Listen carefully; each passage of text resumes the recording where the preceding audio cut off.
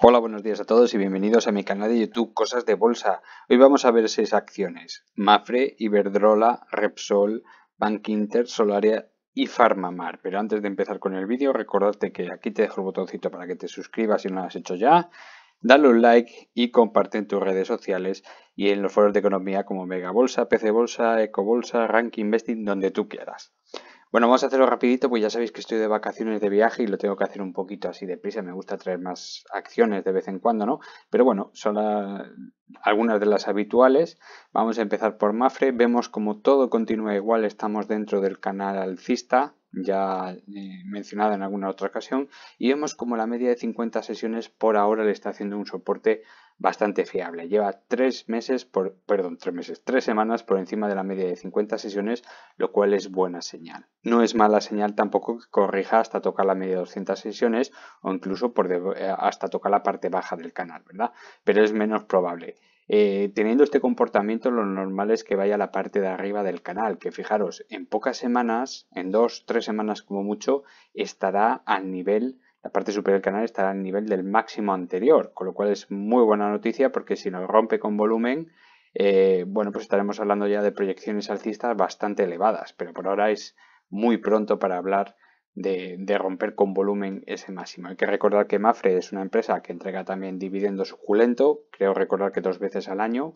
Eh, con los precios a los que había tocado estábamos hablando de más de un 7%, por lo cual cada vez que entrega dividendo nos trastoca bastante el gráfico y además pues eh, tiene menos impulso alcista debido a ese retroceso de la capitalización debido a la entrega de dividendo.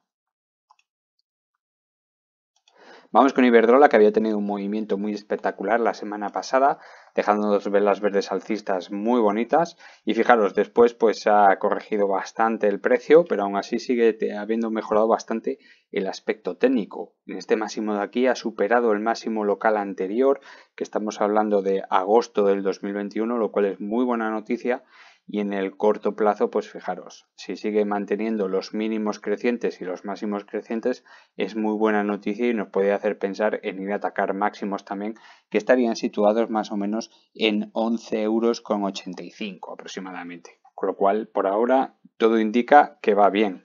El volumen, pues llama un poquito la atención que haya aumentado bastante en las últimas semanas, incluso en los dos meses, ¿no? Antes de, de esta gran caída. Y bueno, es algo llamativo es algo llamativo, es algo a tener en cuenta que es posible que en las próximas semanas veamos un ataque a máximos eh, pues eh, con, con, bastante certeza, una probabilidad bastante elevada. Vamos con Repsol, que ha llamado muchísimo la atención Repsol este ataque tan potente de subida de precios, ¿verdad? Estamos ahora con un con un barril de Bren en 106 dólares, lo cual es algo muy llamativo porque es incapaz de bajar de los 100 dólares en los últimos meses.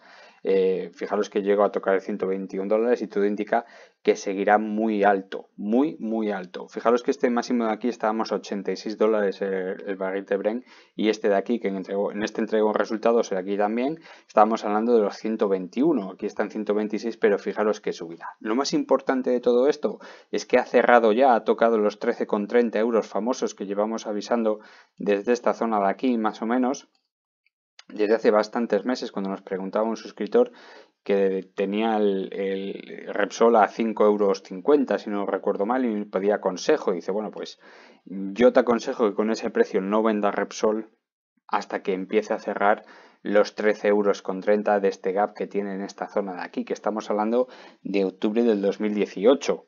Para todos aquellos que pensáis que los gap no se, hay gas que no se cierra nunca, Acordaros, solo es cuestión de tiempo, solo es cuestión de fundamentales y solo es cuestión de datos macroscópicos como por ejemplo una guerra, una recesión fuerte, lo que haga falta. Pero los gaps se van a cerrar. Un gap en 13,30 euros que ha sido cerrado y ha sido superado, por cierto.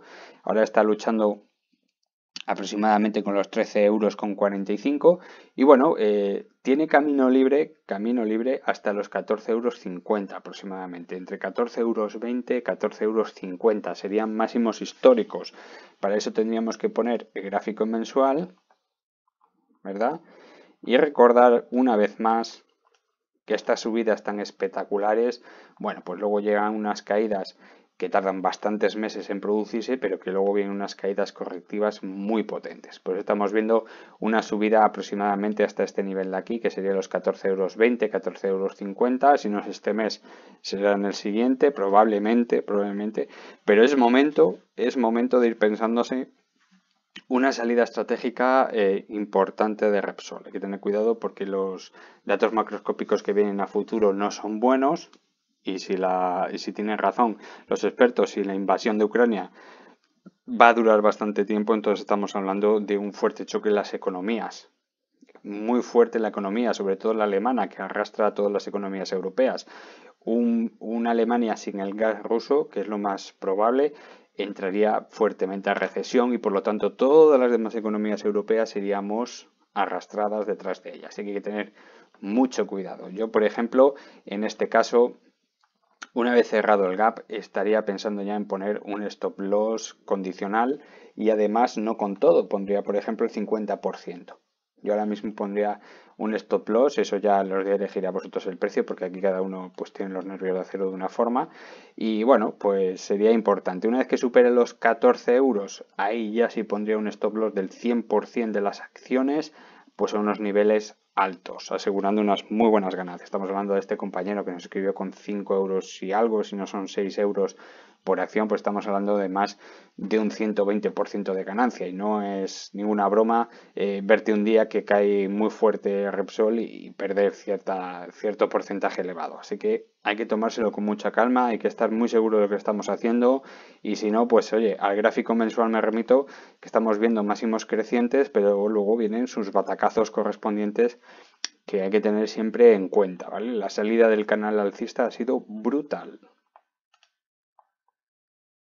Vamos con Bank Inter. Aquí tenemos una estructura muy muy parecida a la de Mafre. Estamos viendo como la media de 50 sesiones está haciendo de soporte dentro del canal alcista, a diferencia con Mafre, bueno, pues estamos por debajo del canal, la mitad del canal. Sin embargo, en Bank Inter estamos por encima.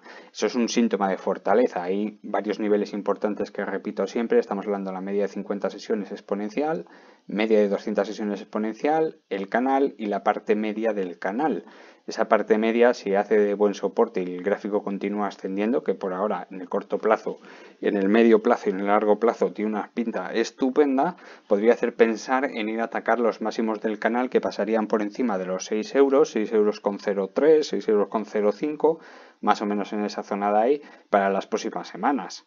Así que Bank Inter, para la gente que esté dentro, es una de las acciones que no habría que tocar. Es una de las acciones que hay que mantener. Para quien esté fuera, pues tampoco es momento de entrar, porque para eh, ganar unos pocos céntimos tampoco merecen eh, el riesgo de poder ir a visitar la parte baja del canal si no se activan esos estímulos económicos que tenían pensado hacer. Así que hay que tener muchísimo cuidado porque a pesar de ser el mejor banco español por ahora, hay que tener cuidadito, no vaya a ser que nos llevemos un susto. Fijaros que no hay ni sobreventa ni sobrecompra, estamos ahora mismo en el RSI aproximadamente en el 50%. Vamos con Solaria.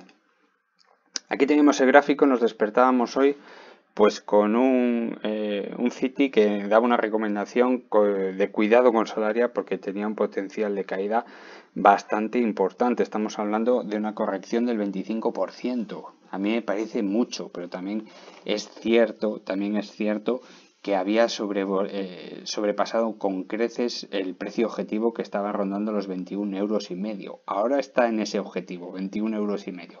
Llegar hasta los 23, incluso superar los 23 euros, no me parece mal, porque no me lo parece, pero me parece un poco irrealista teniendo en cuenta que el potencial de esta acción es muy elevado, pero no está cumpliendo las promesas.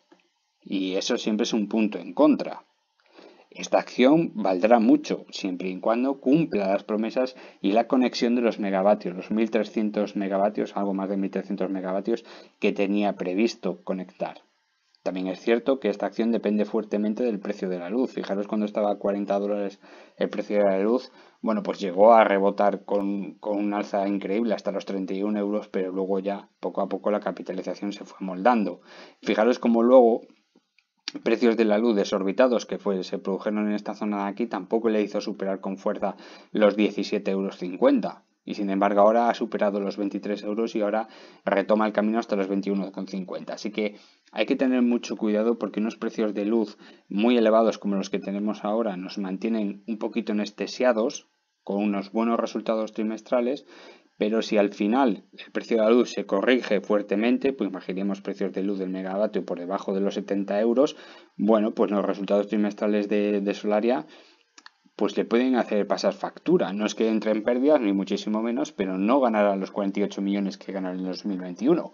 Así que si no conectan los 1350 megavatios aproximadamente que tenía prometido en este año, va a ser muy difícil volver a ver estos precios. Así que hay que tener cuidado y hacerle un poquito de caso a cita de él, que, que en este tema sí podría llegar a tener razón. Vamos con Farmamar. Aquí tenemos el gráfico de hoy, tenemos buenas noticias en el técnico.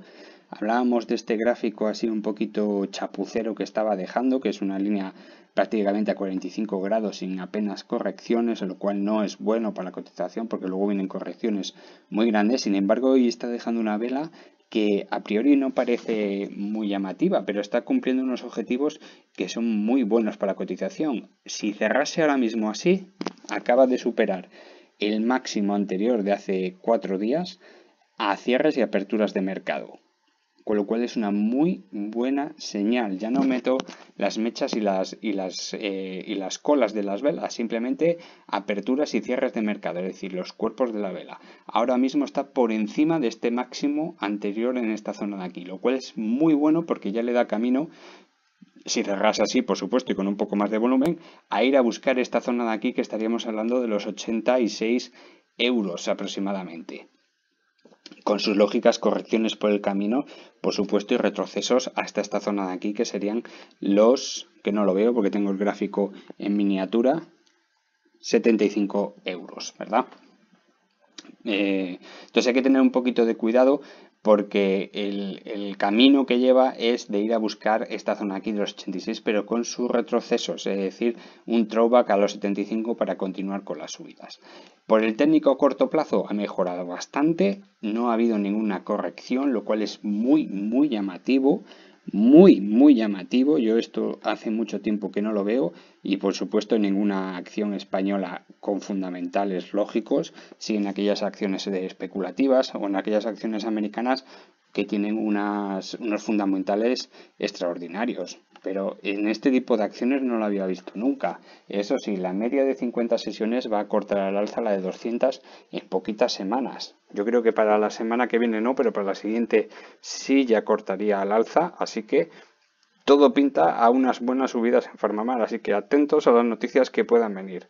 Una vez más, hay una vela en la que estamos en sobreventa que es lo que me preocupa. Va a pasarse bastante tiempo en sobreventa y eso no es bueno, porque cuando una acción se pasa en sobreventa, estoy hablando del RSI, demasiado tiempo, luego vienen correcciones más duras. Por eso os digo que todas aquellas personas que se piensen incorporar en Farmamar, bueno, pues que no se asusten si ven correcciones más fuertes, sobre todo caídas hasta la media de 200 sesiones, que es la que está más cerca ahora mismo, que estaría en torno a los 60 euros, bueno, pues sería una caída lógica para relajar indicadores, pero con eso hay que tener bastante cuidado.